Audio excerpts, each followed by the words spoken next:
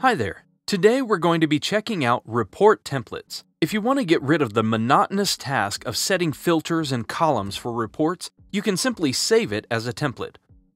With a saved report template, you'll be able to quickly check how a particular user or an entire department advances through courses or find out how many users attended events last month. Let's give creating a template a go. First, head to the Reports section of iSpring Learn. Now run a report. I'm going to run a learner progress report and add a specific filter to it. Okay, now if I want to be able to access this report again easily, all I have to do is go over to the Save as Template button and select it. Then name it and select Create.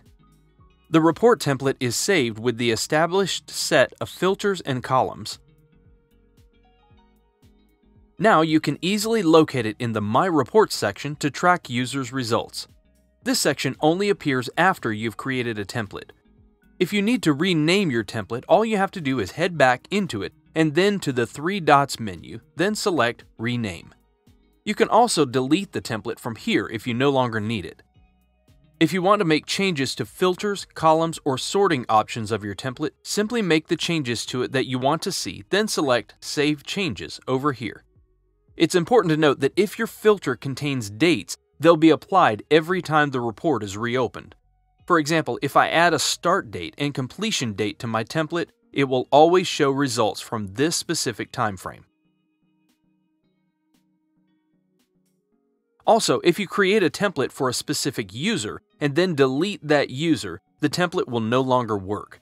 The same thing happens if the template owner doesn't have permission to view data on that user.